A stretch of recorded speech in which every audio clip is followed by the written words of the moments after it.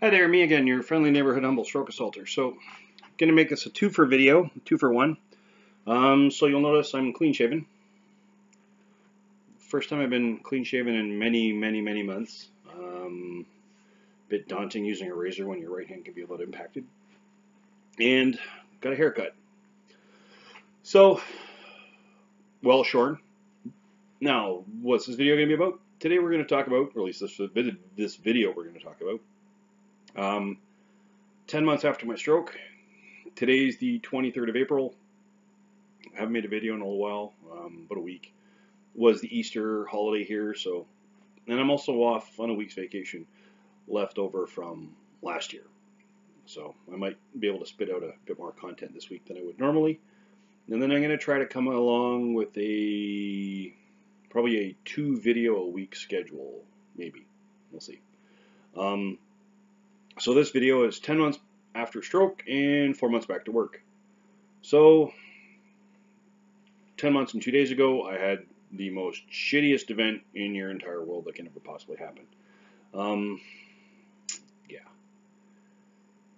Things are slowly getting better. Um, I haven't been as diligent as I should be about getting to the gym. I, that's on me. I admit that.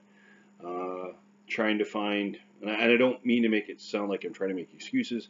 It's just trying to find the right balance between work and gym. Like, what time do I have to get up at to go to the gym? And right now that's being ridiculously early, and I don't want to be going to the gym at 8 o'clock at night after finishing a shift. So I'm trying to find that balance uh, between work, home, life, gym, all of that can get a bit daunting. Um, so I've basically going to call the, the the fourth month back to work completed because I've only got one more work day left in the month or two more work days left in the month. So we'll just call that completed. Um, I'm not sure about where I sit statistically yet because the month isn't over. I believe I'm in quartile two. I think I. Uh, it's either bottom end of two or upper end of three. I really don't know. Um, what I do know is I've had my new hard shell noise canceling headset and that has been amazing, just amazing. So um, for the first two months, I thought I could just power through it and maybe inoculate myself, and I would just get used to being able to filter out the background noise. Not so much. Maybe in time it'll come. It, it, it's quite possible. In another three months, I can do it. I, I honestly don't know, but it's a possibility. But at this moment in time, the, the neurosensitivity that I have after my stroke is fluorescent lights. At home, I'm fine. I don't have fluorescent lights at home, so I don't have to worry about it. In stores that use sodium lighting, I'm fine. I don't have to worry about it. But fluorescent lights, um, they just play havoc on my brain. So I'm unfortunately restricted to wearing sunglasses at work because I don't have a choice. Um, they, I went to my doctor. I got a note for a proper noise canceling headset. I suggested the one at work. Work was very accommodating, got me the headset that I wanted. Uh, and because I work in a call center, there's these little, we joke and call them tear gas canisters, but they're not, um, along the ceiling. And what they are is essentially like a white noise generator baffle type thing. Well, I can hear that noise, and then you get the other background noise people around you. Um, so these headphones basically they eliminate the, the, the white noise generation sound completely and they deaden enough of the other conversations and sounds around me. I no longer have to take the energy to concentrate to push out the distractions. So for those of you that have hadn't had a stroke, neurosensitivity after a stroke um, due to sensory input can be a very difficult thing to deal with. Um, some people might have uh, touch, smell, taste. Sadly, I don't have any of those. I'm saddled with uh, noise and uh, light, and sometimes people. But I'll get into that in a video I'm planning on doing about uh, shopping with neurosensitivity. it's a fun time, um, and I'll leave it in the description down below. I'll leave a link on the videos I've done about um, overstimulation, and not in a good way after a stroke. So they help me not have to focus and, and spend effort concentrating to ignore things. And I can spend more energy dealing with the person that's called in, the customer dealing with at that time. And, and, it, and it's been significantly different. I'm not leaving work uh, feeling fatigued. Uh, I'm not leaving work noticeably looking fatigued.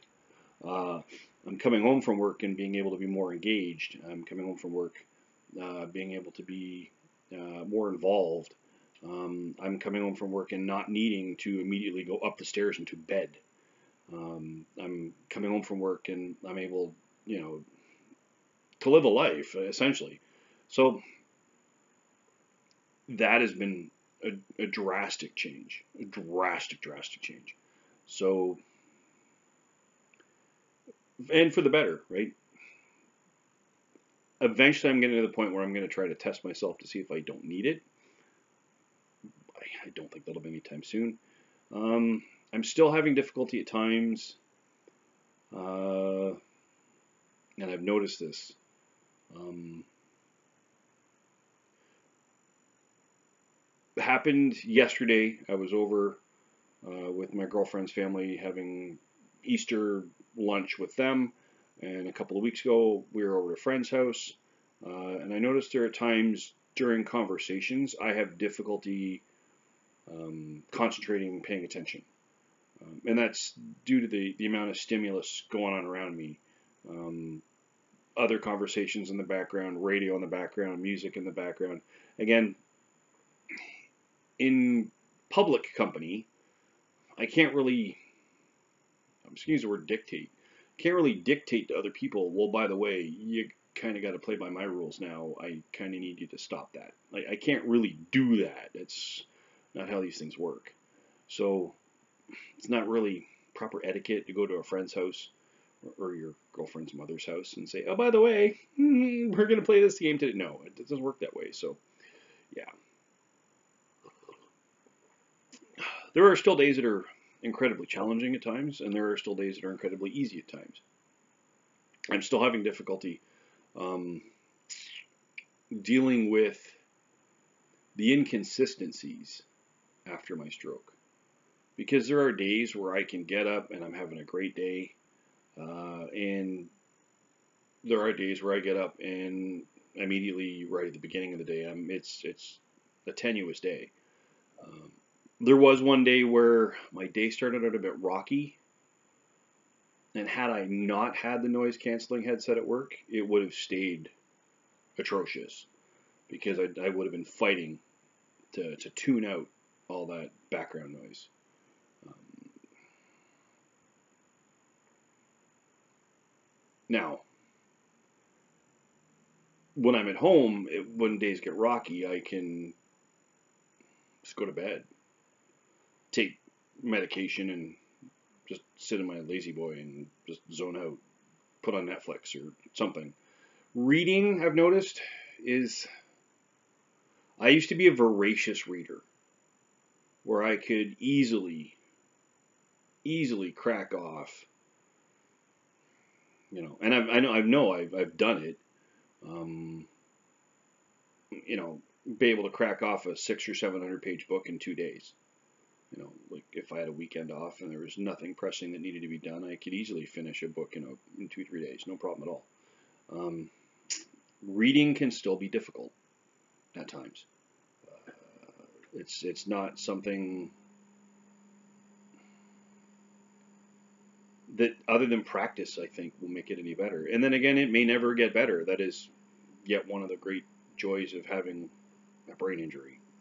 It may, it just may be, it is what it is, and it may never get better. So there's not much I can do about that. What I can do about it is just persevere. And for those of you that have had a stroke, you know what I mean by that.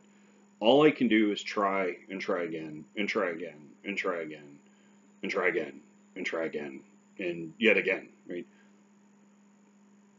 Because I can remember what I could or couldn't do, or I get reminded by people around me what I could or couldn't do six months ago, what I could or couldn't do eight months ago, um, what I could or couldn't do nine months ago. You know, six months ago, there was I wanted to go back to work. Six months ago, I was not ready to go back to work. There was just that was not a reality. I wanted to. Don't get me wrong. I was ready to go back to work. I was more than willing to go back to work.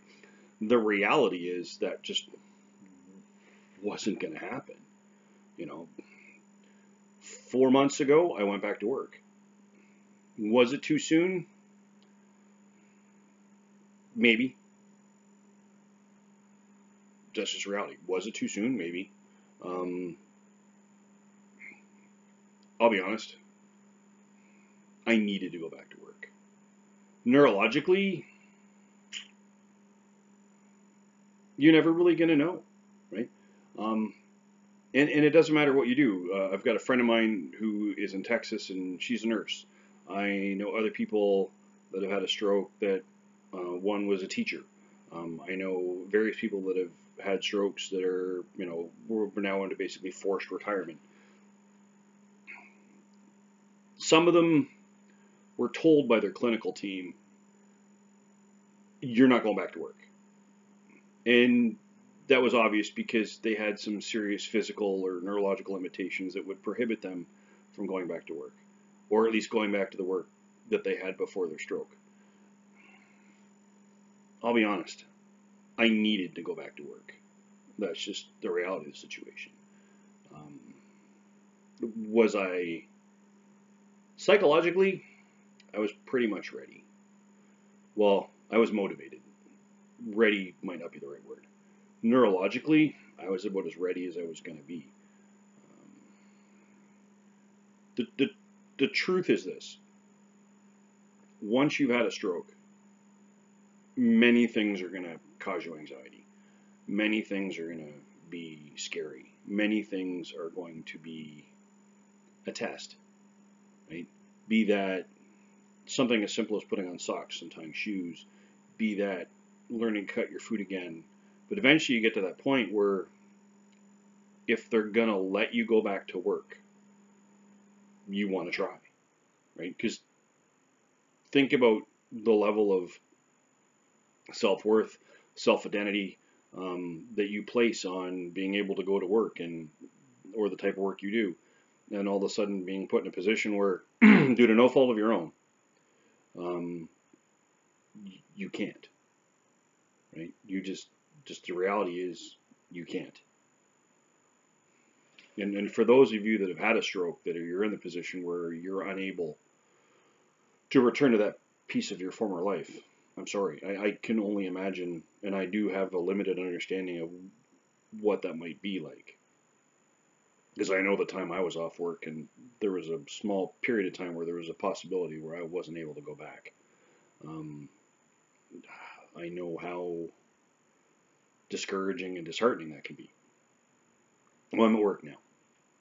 And every day I show up to work. There's only been a couple of days where I've had to call out um, because of my head didn't like me. Um, and I, I try every day, uh, regardless of how shitty my day is being at that moment in time. Some days start out decent, some days don't. Some days start out shitty, some days don't. Some days get better, some days don't, right? They're, I can't predict what's going to happen on any given day. That's just not a possibility. But I try to get through every day. And some are a struggle. Some days, me getting through a day at work, I'm just going to be honest, are, are a struggle, right? And there's nothing I can do about that. It just, I, I can't make it any better some days. I just have to make it the best day possible. So,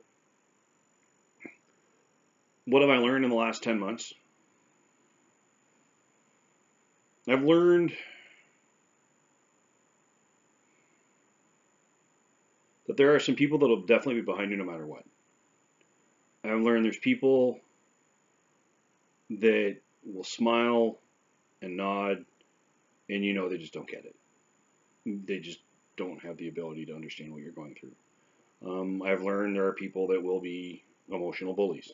I've learned there's people that you thought were friends, but they were a friend in name only because when the chips are down, they immediately disappear. But that's okay. They weren't really a friend, anyways. They were just sort of a place taker in your life. I've also learned that no matter how shitty today is, the only easy day was yesterday, and the only better day can be tomorrow. Because right? there are going to be days that are going to be atrocious. Just, just absolutely atrocious. And there are going to be days that are going to be deceptively easy, and they'll be joyous and amazing.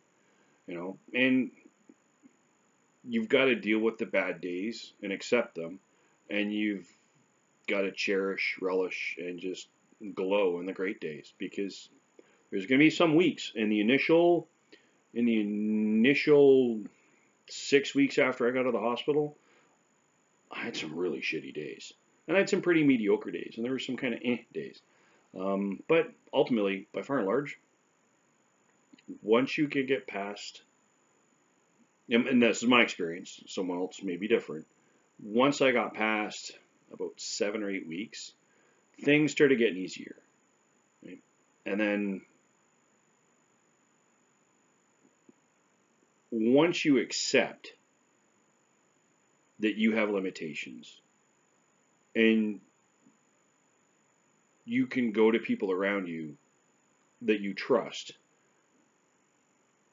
and they respect where you are and they're more than willing to help without hesitation those are the people that you're going to lean on and you're going to learn who those are but ultimately i'm just grateful to be alive right now i'm 10 months past my stroke.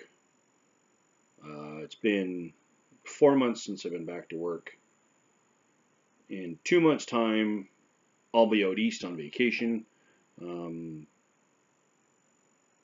and we'll get more into that later at some point when it's more relevant. But um, basically, we're going to go to Montreal and then Fredericton, and then Halifax, and then back again.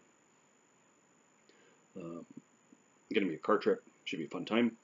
But ultimately, you're going to learn a lot in your post-stroke world. And you're going to a few things that you didn't want to learn, and you're going to learn a few things that you had to learn a couple times to actually get the message. yeah, that's a thing. But it's not that bad, right? There are extremely difficult days, and there are extremely challenging days, and then there are extremely rewarding days because you successfully breached an obstacle and overcame a challenge. So if you like what you've been watching over the past 10 months, please like, share, subscribe, hit the little notification bell. You get the little dingy, dingy, dingy when the uh, videos get uploaded. Uh, if you happen to know someone that's either going through their own post-stroke journey or supporting someone going through a post-stroke journey, please point the channel out to them. They may get some benefit out of it. If you uh, would like to contact me directly, you can either leave a comment down below or you can contact me at strokeassaulter at gmail.com. I say again, you can contact me at strokeassaulter at gmail.com.